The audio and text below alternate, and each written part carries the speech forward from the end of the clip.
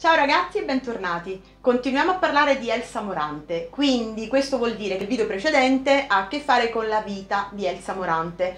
Quindi adesso parliamo delle opere. Allora, prima di tutto parliamo della poetica. Il pensiero di Elsa Morante si basa, diciamo, su alcuni principi che, come ho già detto nel video precedente, nascono dalle sue riflessioni più profonde, essendo una donna dalle grandi riflessioni, eh, a volte che l'hanno portata anche a sprofondare in pensieri brutti, negativi, diciamo che lei nei suoi scritti vuole riportare, forse tra virgolette potremmo dire quello che la vita le ha insegnato. È un po' come quando noi, nel corso dei nostri anni, portiamo con noi quello che serve e buttiamo via quello che non ci serve, no? Allora, in questo caso potremmo dire che la poetica di Elsa Morante si basa su eh, alcuni principi importanti. Prima di tutto, l'innocenza degli umili, cioè lei non perde mai di vista quanto è importante la nostra parte innocente, cioè quella che la società, la vita, il dolore, le delusioni non ha corrotto, non ha cambiato e privilegia molto, quindi ritornano spesso nei suoi opere i bambini, eh, immagini di persone molto pulite eh, e quindi diciamo valorizza molto quella che è il concetto di innocenza appunto degli umili. Il secondo punto c'è un rifiuto per la violenza, ovviamente stiamo parlando di una donna che sente molto, una donna empatica, che sente molto il dolore degli altri, quindi ha un totale rifiuto per il concetto di violenza, di sopraffazione e di violenza, poi una donna molto forte. Inoltre, ehm, li, diciamo, io direi la, l'atavico è l'immortale scontro tra gli infelici, le persone non felici, che però sono tante, e i felici, quelli che apprezzano la vita e che riescono a godere appieno, che però sono un po' meno, secondo lei. Quindi in questo scontro ritorna spesso nelle sue opere lo scontro tra le persone infelici e i felici.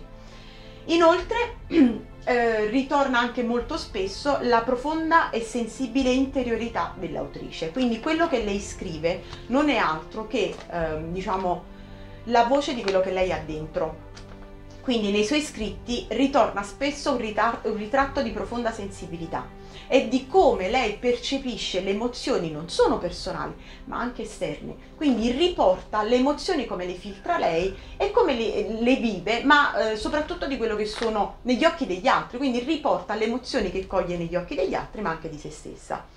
Inoltre eh, ritorna spesso una dimensione fiabesca quando racconta le cose, infatti lei nasce proprio come scrittrice di fiabe, di racconti e ritorna spesso questa visione un po' di fiaba, quasi come una visione ottimistica della vita, il voler credere ancora alle favole. Eh, ed inoltre denuncia, eh, le sue opere sono spesso una denuncia di una società che eh, è fatta prevalentemente da uomini schiavi, anche se questi si credono, credono di essere liberi. Questo perché? Perché essendo una donna molto forte, una donna che è stata anche impegnata in politica, eh, è una donna che vive la rivoluzione come qualcosa di quotidiano, cioè lei non accetta la staticità delle persone che accettano le leggi, i fatti, gli eventi con una staticità, cioè restando fermi. Ecco, lei dice questa società fatta di schiavi, di persone che seguono la massa, però si credono liberi, ma in realtà non sono persone libere. Allora, detto questo, vi vado a riportare quali sono le opere più importanti. Nel 1948 Menzogna e sortileggio, nel 1957 L'isola di Arturo, 1958 Alibi, nel 1963 Lo sciallo andaluso, 1959 La straordinaria avventure di Caterina, nel 1974 La storia. E nel 1982 Aracoeli. Allora ragazzi, questa mia velocità quando vi ho letto nasce dal fatto che al di sotto di questo video troverà, troverete questa mappa, questa mappa sulla quale c'è scritto appunto l'accenno alla poetica ed inoltre l'elenco delle opere più importanti. In questo caso il margine è molto più ampio perché ovviamente non sapendo su quale opera potermi soffermare di più, perché quasi sicuramente studierete l'isola di Arturo, perché quella tra tra quelle più studiate, però non potendo certo fare riassunto di tutti, se no diventava noiosissimo questo video, allora vi ho lasciato un lungo margine. Questo vuol dire che nel momento in cui ci sono altre informazioni che dovete aggiungere a questa mappa, potete farlo. Queste mappe nascono per i ragazzi con disturbi di apprendimento, quindi hanno una grafia molto chiara, ma ciò non toglie che oltre alla mappa troverete anche un audio che vi aiuta nella prima lettura, anche nella seconda, la terza, insomma, che vi aiuterà nella lettura. E inoltre ehm, potete utilizzarla come strumento compensativo durante le interrogazioni, quindi quando ascoltate questo video scaricate questa mappa, studiate con l'ausilio di questa mappa, tenetela con voi e portatevela in classe.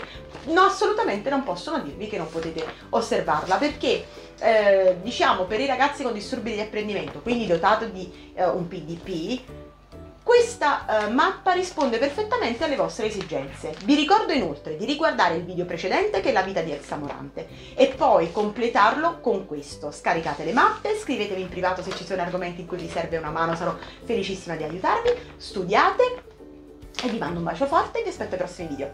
Ciao ragazzi e buono studio!